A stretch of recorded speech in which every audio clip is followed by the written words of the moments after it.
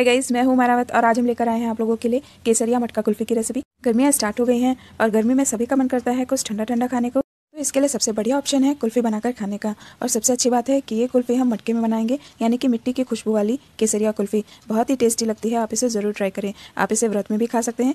तो first of all welcome back to my channel foods life और guys अगर आप पहली बार आए हैं मेरे चैनल पे तो चैनल को अभी तुरंत सब्सक्राइब करें। साथ में बेल आइकन ज़रूर प्रेस करें। वीडियो पसंद आए तो लाइक और शेयर ज़रूर करें। तो चलिए रेसिपी स्टार्ट कर लेते हैं।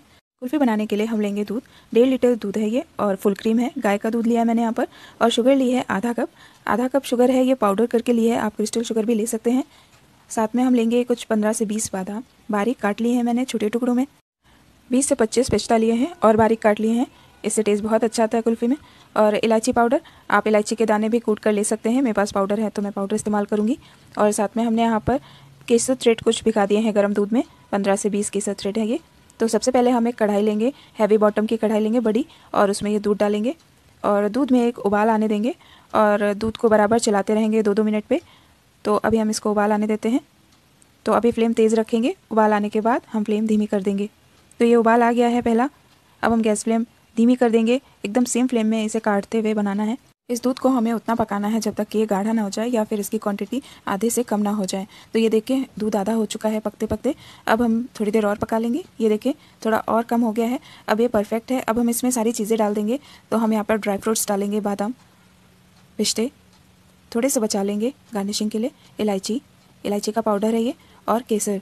केसर का दूध। साथ ही में शुगर डाल देंगे हम। आप अपनी ज़रूरत के मुताबिक चीनी कम या ज़्यादा कर सकते हैं और अच्छे से स्टर करेंगे। और अगेन इसे थोड़ी देर पकाएँगे, पाँच से दस मिनट।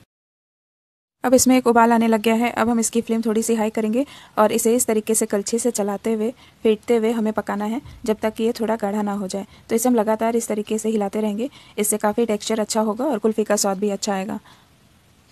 तो हमारा दूध अब गाढ़ा हो चुका है। ये देखें, हमें इतनी कंसिस्टेंसी रखनी है। ये ठंडा होने के बाद और गाढ़ा होगा। तो अभी हम गैस फ्लेम ऑफ़ कर देंगे और इसे ठंडा होने देंगे। उसके बाद हम कुल्फ़ी की तैयारी करेंगे।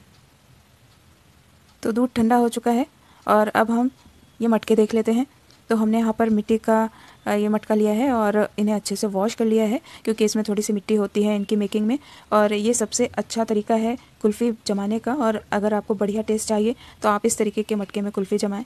अगर आप किसी तरीके का फास्ट रख रहे हैं तो आप अपने फास्ट में इस तरीके के मोल्ड में कुल्फ़ी जमा कर आराम से खा सकते हैं। बहुत ही अच्छा है। तो कुल्फ़ी का बैटर अभी ठंडा हो चुका है, ये देखें, और गाढ़ा भी हो चुका है। और अब हम इसे थोड़ा सा मिक्स कर लेंगे और फिर इसे इसमें पोर करेंगे। तो ये देखें इसमें काफ़ी अच्छी सी खुशबू आती है। जब भी हम इसे ट्राई करेंगे, खाएँगे तो आप इसे देखिएगा कि इसमें काफ़ी अच्छा टेस्ट आता है। अगर इस तरीके से हम कुल्फ़ी बनाकर तैयार करेंगे। कुल्फ़ी जमाने के लिए हम इन्हें फ्रीज़र में रखेंगे और फ्रीज़र में रखने के पहले हम इन्हें क्लिंग रैप से ऊपर से बंद करेंगे ताकि इसमें क्रिस्टल ना बने आइस क्रिस्टल और ये काफ़ी टेस्टी बने, एकदम स्मूथ बने। तो अब ये सारे फिल कर दिए हैं, ऊपर से डाल देंगे पिछते थोड़े से सुंदर दिखेंगे और टेस्टी भी। तो अब हम इन्हें क्लिंग रैप से रैप करेंगे। इस तरीके की क्लिंग रैप अगर आपके पास ये नहीं है तो आप कोई भी पॉली शीट ले लें और ऊपर से लगाएँ, छोटा टुकड़ा, और ऊपर से रबर बैंड लगा दें। और मैं इसे रैप कर रही हूँ। ये इजली रैप हो जाता है। तो गाइज़ ये है मिट्टी के कुल्हड़, जिनमें हम चाय पीते हैं। ये मिट्टी की दुकान, मिट्टी के बर्तन की दुकान पर मिल जाएँगे आपको, बहुत ही सस्ते मिलते हैं। गाइज़ मेरे चैनल पे मिट्टी के बर्तनों में बनी हुई और भी रेसिपीज़ हैं। आप चाहें तो चेक कर सकते हैं। और मावा कुल्फ़ी की भी रेसिपी है, आप चाहें तो देख सकते हैं। तो ये मैंने तैयार कर लिए हैं। क्लिंग रैप ऊपर से रैप कर दी है। अब हम इन्हें रखेंगे आठ से दस घंटे के लिए जमने के लिए फ्रीज़र में और चाहे तो आप रात भर रख सकते हैं और नेक्स्ट डे आप इन्हें आराम से सर्व कर सकते हैं। दस से बारह घंटे हो चुके हैं, कुल्फ़ी हमारी जमकर तैयार हो चुकी है। चलिए अंदर देख लेते हैं, इसको खोलते हैं। ये देखें, बहुत ही बढ़िया कुल्फ़ी जमकर तैयार हुई है और ये परफेक्ट जमी है। चलिए अब हम इसे कट करके देखते हैं कि अंदर से इसका टेक्सचर कैसा है। ये देखें, एकदम मज़ेदार ठंडी ठंडी कुल्फ़ी बनकर तैयार हुई है। तो गैस आप भी इस गर्मी में ये कुल्फ़ी बनाएँ। बहुत ही ईजी है और बहुत ही कम इंग्रीडियंट्स के साथ ये कुल्फ़ी बनकर हेल्दी तरीके से तैयार हो जाती है। तो गैस अगर ये रेसिपी पसंद आई हो तो लाइक दे दीजिए और शेयर कीजिए। और चैनल को सब्सक्राइब करना बिल्कुल ना भूलें। मिलती हूँ किसी नई रेसिपी के साथ। Till take care thank you for watching have a wonderful day